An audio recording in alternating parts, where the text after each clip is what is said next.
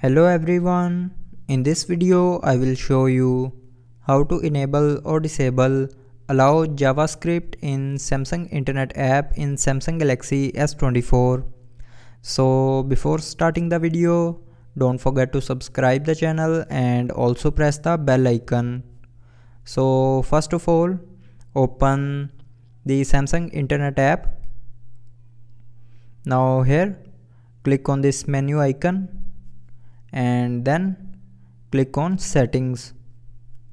Now in settings scroll down and here click on sites and downloads. And in sites and downloads click on site permissions. Now here you will see a allow javascript button. So if you want to enable the allow javascript then turn on this button and if you want to disable the allow javascript then turn off this button. So to turn off click on block javascript.